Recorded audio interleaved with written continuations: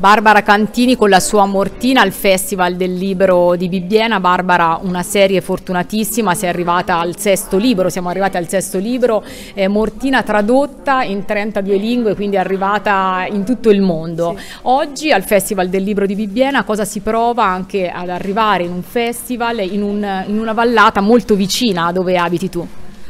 Sono molto felice di essere stata invitata qui in Casentino perché è stata anche un'occasione per vedere un posto splendido che ancora, nonostante la vicinanza, non avevo ancora avuto modo di, eh, di visitare.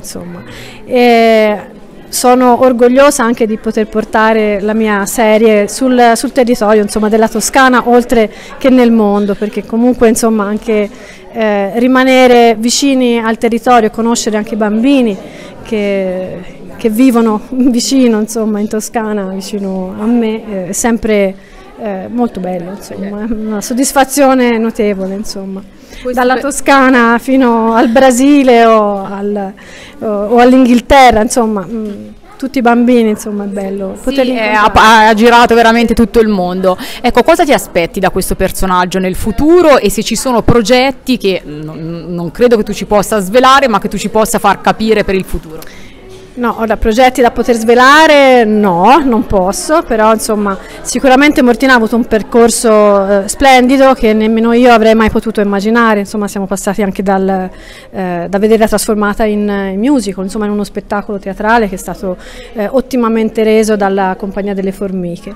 E per quanto riguarda i miei progetti su Mortina sicuramente non, eh, la, la, porta non è chiusa e ancora c'è molto da, da raccontare insomma di questo mondo che così ho creato anche via via, insomma, che le storie si sono eh, sviluppate, insomma.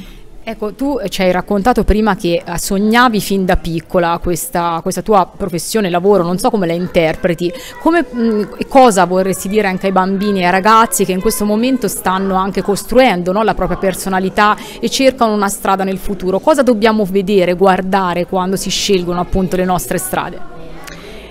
Io ho sinceramente proprio seguito quella che era la mia eh, luce interiore, la voce interiore che mi eh, ha sempre fatto sentire nel disegno la, la, mia dimensione, insomma, il mio posto nel mondo era quello del, del disegno, delle storie, dei libri, ho sempre amato anche eh, stare in camera anche da sola, proprio immergermi nelle, nelle figure.